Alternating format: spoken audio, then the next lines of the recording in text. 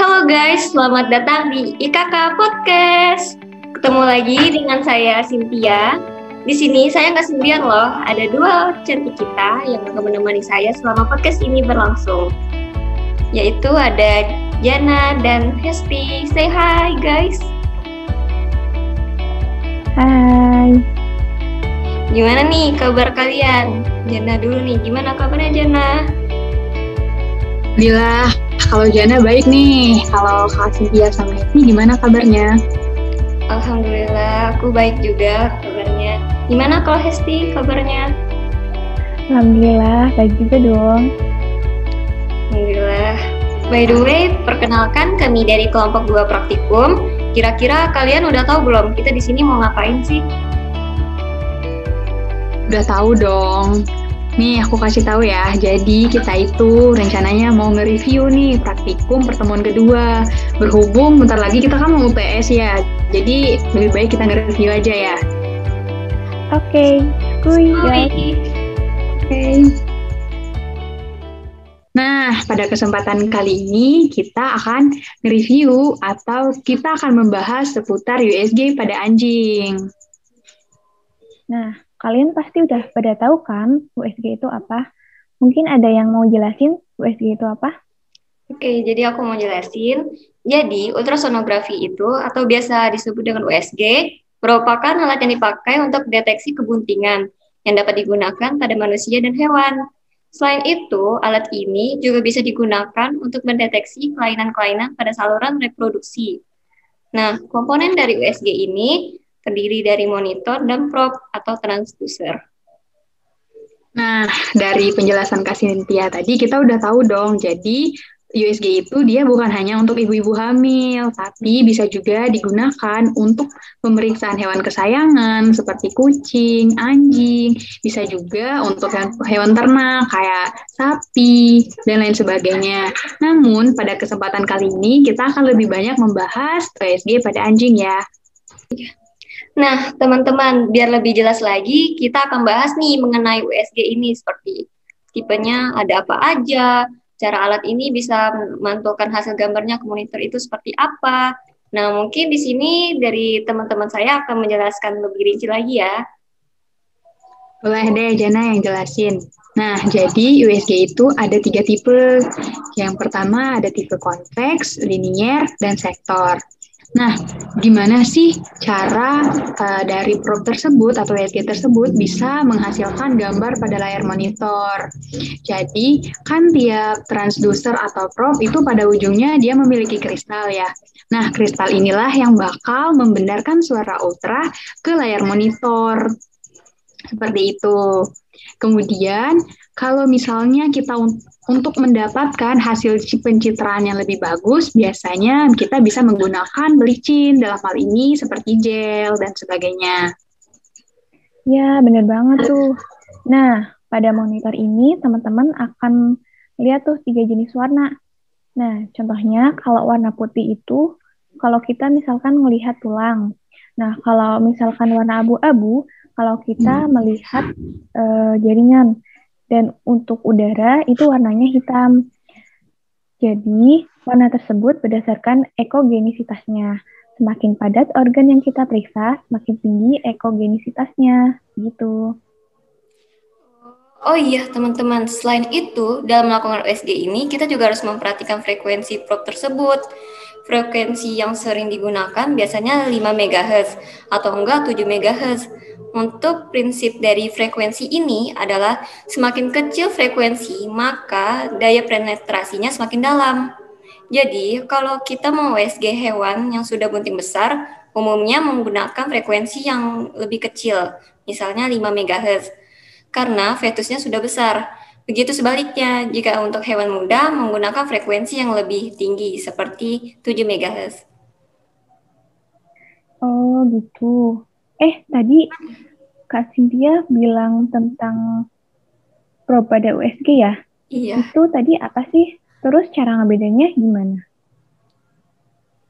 Oh iya, tadi Jana yang jelasin. Sorry banget nih guys, lupa. Nah, ini lagu review nih. Jadi, yang tadi Jana jelasin itu kan ada tipe-tipenya ya. Nah, jadi yang ditanyain sama Hesti itu apa sih yang ngebedain dari tipe sektor tersebut. Nah, jadi prop tersebut itu kan dia ada tiga jenis tadi ya, yang udah seperti Jana jelasin. Ada yang tipe sektor, konveks, dan linier. Nah, gimana sih cara kita ngebedain? Yang pertama tentunya dari bentuknya dong. Jadi kita bisa ngebedain dari bentuk dari prop tersebut.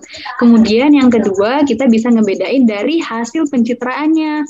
Nih, misal kalau sektor itu e, pencitraannya dia kayak kipas dengan sudut 90 derajat.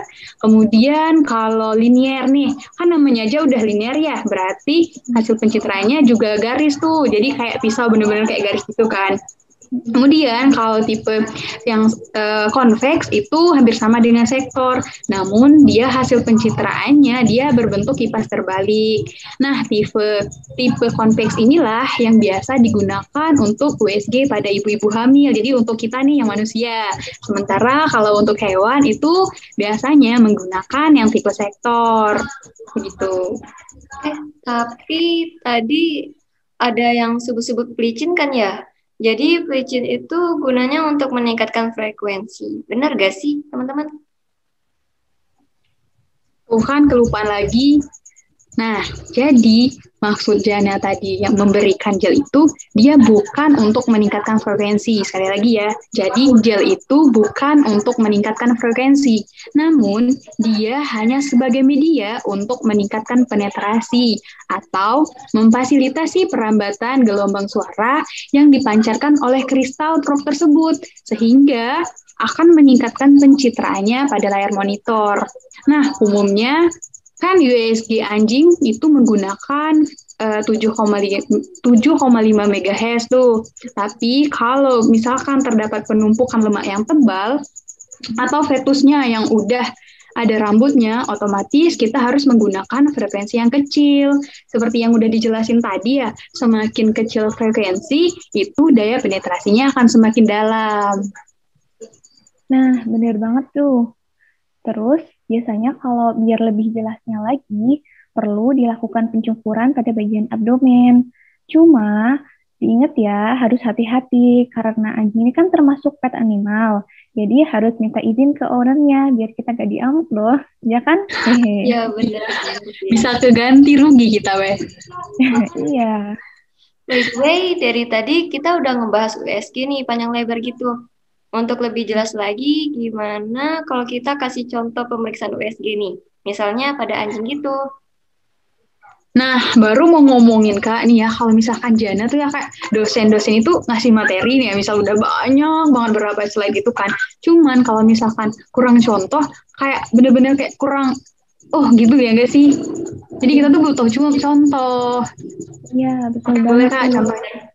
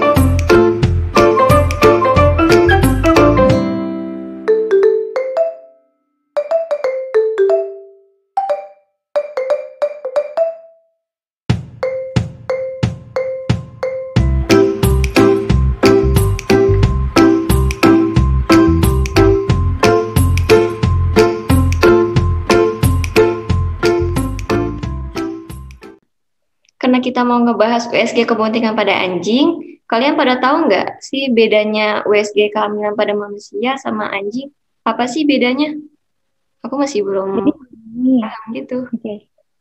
oke. Okay, jadi gini teman-teman. Prinsip USG keduanya sebenarnya sama yang kayak kita jelasin tadi. Tapi bedanya itu dari dinamika intrauterin fetusnya. Kalau di manusia kan tipe plasentanya diskoidal. Jadi fili-fili koriannya itu menyebar di daerah yang bentuknya kayak cakram dan pelekatan dengan endometrium di penebalan fili-fili tadi. Nah, kalau untuk anjing, tipe plasentanya itu sonaria. Jadi fili-filinya itu mengumpul pada tengah membentuk kayak handuk itu.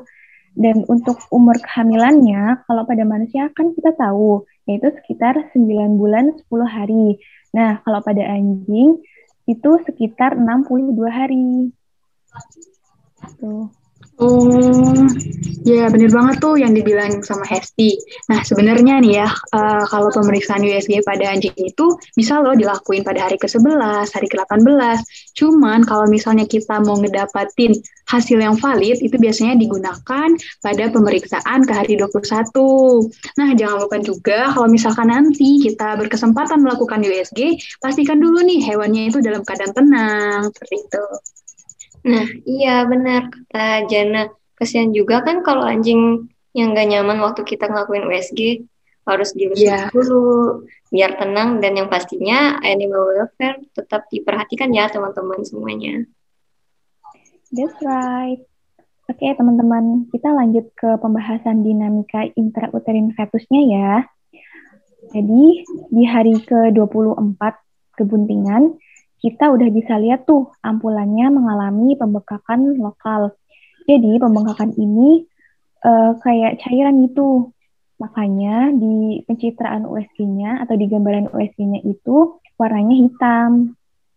Hmm, nah, di hari berikutnya itu ampula embrionya udah lebih besar tuh. Dan yolk setnya sama jantung embrionya sudah bisa kita kenali. Nah, selanjutnya di hari ke-27 kebuntingan, kantung kemihnya sudah kelihatan secara longitudinal maupun transversal. Selain itu, udah kelihatan juga nih yolk sama satu perbatasan placenta zonarinya. Ampulanya itu udah mulai memanjang hasil dari nonfilus alantokorion di kedua kutub ruang implantasi. Eh, BTW kalau Jana nggak salah nih ya, gerakan fetusnya sendiri tuh itu udah bisa dilihat gak sih pada hari ke-29 atau salah ya? Yep, Jana, bener banget. Di hari ke-29 kebuntingan itu, selain gerakan fetus yang udah kelihatan, kita juga bisa lihat kayak umbilical cord, yolk sac, sama amniotic membran. Di hari ke-31 juga udah kelihatan banget tuh gerakan kepala sama gerakan tubuh fetusnya. Nah, sama mau nambahin lagi nih, di hari ke-31 itu cairan yoksotnya udah mulai berkurang, jadi selaput janinnya kelihatan lebih pipih. Lalu, sekitar dua hari kemudian, detak jantungnya udah bisa nih dia mati, walaupun masih lemah sih detak jantungnya. Hmm, Oke, okay, lanjut dulu ya. Nih, kebuntingan umur 35 sampai 40 hari, itu tuh volume cairannya udah maksimum tuh. Nah, karena volume cairannya udah maksimum, sehingga si fetusnya ini tadi dia bisa bergerak dengan leluasa tuh di dalam rahim induknya. Nah, selain itu, kita juga bisa mengamati beberapa um, aktivitas si anaknya di dalam kandungan induknya kayak gerakan kaki fetusnya, kemudian lensa bola mata, tengkorak, kemudian tulang rusuk, masa usus, bahkan ekornya sekalipun bisa kita amati. Nah, bahkan kalau di hari ke-40 itu kita bisa mengamati detak jantungnya, diperkirakan sekitar 222 denyut per menit loh. Wah, ternyata denyut jantungnya bisa diamati juga ya, Jana? Tapi iya, pasti kudu jeli nih ngitung-nyut jantungnya. Apalagi kalau si fetusnya aktif gerakannya kan di dalam selaput ketuban. Iya, bener banget tuh. Nah, teman-teman, kalau di minggu ke-6 sampai minggu ke-7 itu, kita udah bisa lihat rongga mulut, gerakan lidah, pergangan jari kaki depan, sama batas antara janin sama perutnya. So, kita bisa amati gerakan pernafasan. Kita juga bisa lihat loh cigukan dari si fetusnya. Wow, amazing banget ya. Fetusnya cigukan aja bisa diamati. Tapi kalian tahu nggak tanda-tanda kalau induk anjingnya mau partus? Kan induk anjingnya bisa ngomong kayak kita, ya kan? Iya, betul. Nih, Jana mau ngasih tahu nih yang dibilang Kak Cynthia. Jadi, kalau misalkan nih pada USG itu kita sudah menemukan gerakan dari rahang bawah sama lidah pada si fetusnya. Nah, itu menandakan bahwa induknya bakal ngelahirin dua minggu setelah pemeriksaan tersebut. Nah, bener banget tuh Jana. Um, oh iya, ada tambahan lagi nih. Kan selama kebuntingan pasti ada kasus atau gangguan gitu ya. Nah, pada anjing sendiri, contoh kasus atau gangguan selama kebuntingan itu kayak piometra sama kista endometrium. Jadi, piometra itu bentuknya kayak uh, akumulasi nanah di lumen uterusnya. Dan ada dua jenisnya. Pertama itu yang mengeluarkan leleran vagina dengan serviks terbuka. Dan yang kedua itu ada piometra dengan serviks tertutup. Tapi ini teman-teman, kalau yang biometra jenis kedua ini termasuk yang berbahaya karena bisa nyebabin kematian akibat septikemia atau taksemia. Nah, kalau kista itu apa sih? Kista itu bentuknya kayak hmm, mukus di uterus dan itu disebabkan karena infeksi bakteri gitu. Nah, kalau misalkan udah kejadian yang kayak dibilang sama Esti nih, biasanya para dokter hewan memilih tindakan untuk pembedahan atau yang lebih dikenal dengan operasi. Jadi, apa sih kegunaan dari USG ini? Nah, kegunaannya itu untuk meminimalkan kejadian-kejadian seperti yang udah disebutin teman Jana tadi loh. nah, kebuntingan itu jadi disarankan alangkah lebih baiknya kalau dilakukan pemeriksaan sejak dini. Selain itu, kita juga harus memperhatikan pakannya, aktivitasnya, serta lingkungan hewan tersebut, terutama saat kebuntingan. Benar banget ya, Jana. Gitu.